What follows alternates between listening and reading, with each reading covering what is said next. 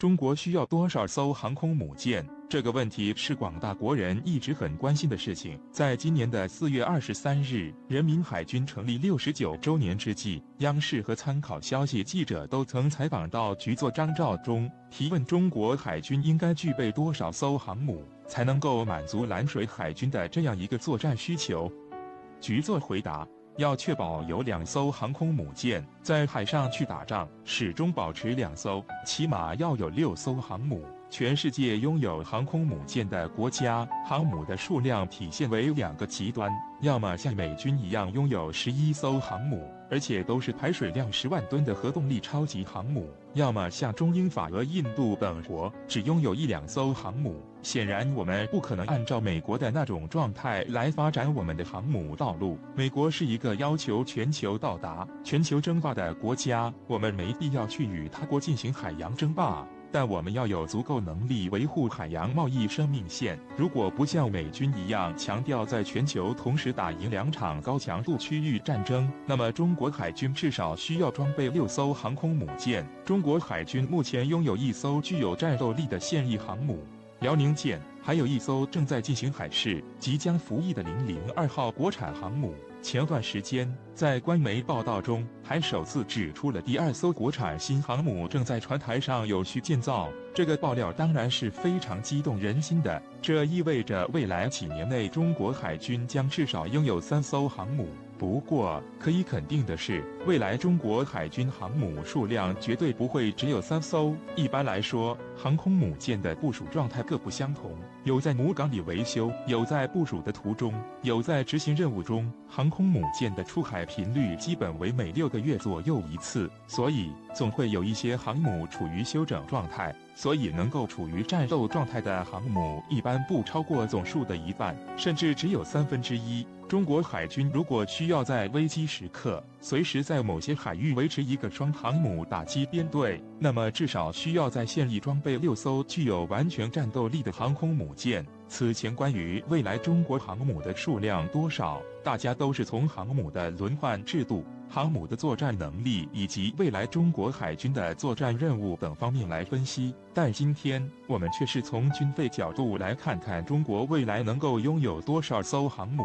众所周知，建造以及使用航母的费用都是非常高昂的，这就要求航母的建造使用必须和军费支出水平相匹配。英国的第二艘伊丽莎白女王级航母计划在建成后就立即封存，就是因为英国军费支出不足，不足以同时支持两艘航母的使用费用。以美海军尼米兹级核动力航母为例，算上所有舰载机，每艘航母的造价高达两百五十亿美元。更为惊人的还在后面。美海军预计一艘尼米兹级核动力航母的全寿命的费用支出大约是造价的十二倍。如果航母上发生过重大事故，航母需要额外的维修保养，那么支出费用还要更高。在二零一七年，美国军费总额为六千一百亿美元，当时美国拥有十一艘航母。而中国的军费总额为两千两百八十亿美元，只有一艘航母现役，但这不意味着中国就可以大规模建造航母了。中国军队目前仍然处于迈向全面现代化的关键过程，有大量装备需要更新换代。基于军队全面发展的考量，中国在未来数年内是不可能突然快速增加航母数量的。未来大概十年内，中国航母的发展速度应该会继续保持现有水水平，则一艘航母海试，下一艘航母开始建造的模式。按照这个建造速度，那么在二零三零年，中国大概会有六艘航母在役。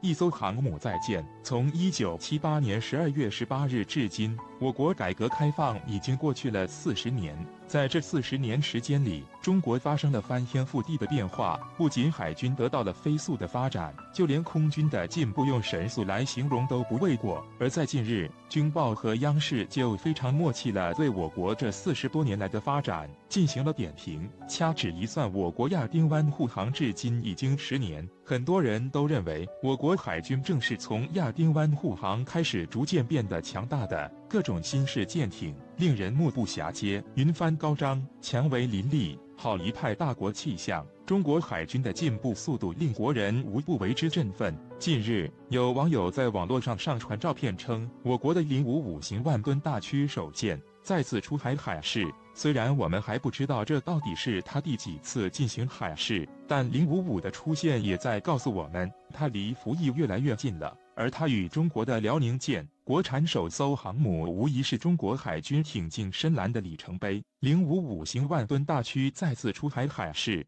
军报近日一篇文章在评论改革开始四十年中国海军的发展时，用到一个词“脱胎换骨”。我们回顾一下中国海军现在的阵容，可以发现确实如此。从初期依靠国外技术生产军舰，到自主研发的零五二 D 问世，再到一服役就可平台和设计理念上。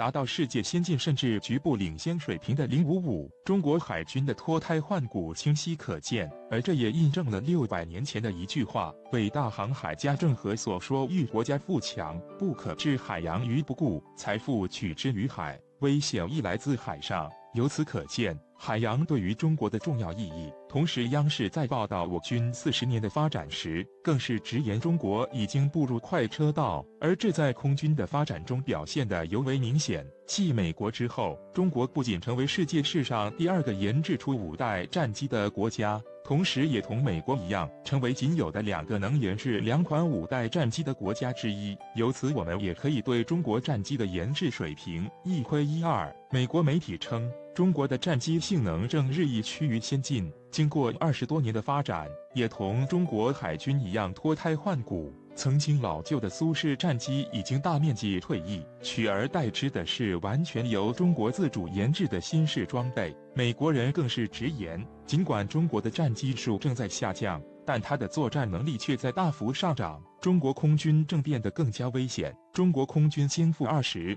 随着中国整体战力的上升，曾经随着中国的一些评价也正在逐渐消失，而缺乏实战能力就是其中之一。虽然中国并不像美国一样出现国际上的各种争端当中，但中国是实战化演训一直在进行，像红箭、蓝盾。金头盔、金飞镖等已经成为中国实战训练的品牌。不仅如此，中国空军还多次走出国门，同外国军队进行实兵对抗和实弹演练。俄罗斯空天军司令维克托·邦达列夫在见识中国飞行员的演练后。就曾夸奖中国飞行员专业素养一流，可见中国的实战能力得到了俄罗斯的肯定。在二零一四年的时候，美国战略与国际问题研究中心就曾表示，中国已拥有一支亚洲第一、世界第三的空军，同西方空军的整体差距正迅速缩小。可见。中国的发展也得到了西方世界的认同。中国以四十年的时间走完了国外近百年的路程，在这个过程中，中国披荆斩棘，以前所未有的信心，坚定不移地前进着。而现在四十年后，我国又站在了一个新的起点上，未来的中国值得期待。至终。近几年，中国的发展让世界重新认识了中国。随着中国的高速发展，各式各样的新式装备，中国也一应俱全。其中变化最明显的就是海军和空军了。近日，网上流出一张照片，显示我国零五五型万吨大驱首舰疑似开始了新一轮的海试，而这时美国国会却列出了美国海军七大问题，这是自揭加短。作为我国舰艇设计制造水平的体现，零五五型大区首批的制造数已经下水过半。尽管我们不知道此次海试到底是055型首舰的第几次海试，但有一点可以说非常明显。中国海军正在变得越来越强，而从美国国会公布的报告看，美国海军却似乎一直在走下坡路。在当地时间十二月十九日，美国国会监督机构公布了一份新的报告。在报告中，美国国会指出，由于一直以来受到了来自维修和人员配备方面的挑战，美国海军的战备状态需要重建。特别是在其正在寻求将其舰队扩大百分之二十五的情况下，美国海军受到的挑战将可能会进一步加剧。零五五型万吨大驱新一轮海试。据美国国会监督机构强调，从几年前开始，美国海军就存在着诸多问题，其中有七大问题就一直得不到解决。其中排在第一、第二位的就与人员有关，美国海军太平洋第七舰队就差点因此全军覆没。报告中称，极少的人员培训和过度劳累的水手。让美国舰队一直处于危险的状态。二零一七年在海上发生的一系列令人尴尬的碰撞，就是一个很好的例子。尽管军方一再强调其对人员的培训正在调整，水手的工作量正在减轻，但通过走访发现，水手们想获得充足的睡眠都将成为问题。之后的问题就是维修积压。去年美国海军发生的那些尴尬事件。令这个问题再次加剧。从二零一二年到二零一八年为止，仅有百分之三十的维修工作被完成。因此，美国国内也响起了同俄罗斯国内一样的声音，找中国帮忙修吧。随后的一个问题就是，美国海军非常不合理、不切实际的预算编制。就如上文提到的，美国海军希望将其舰艇数再增加百分之二十五，并从现在开始到二零四八年再购买三百多艘新舰艇，但美国海军却完全忽视了运输成本和时间成本在里面，这让其预算根本不可能达。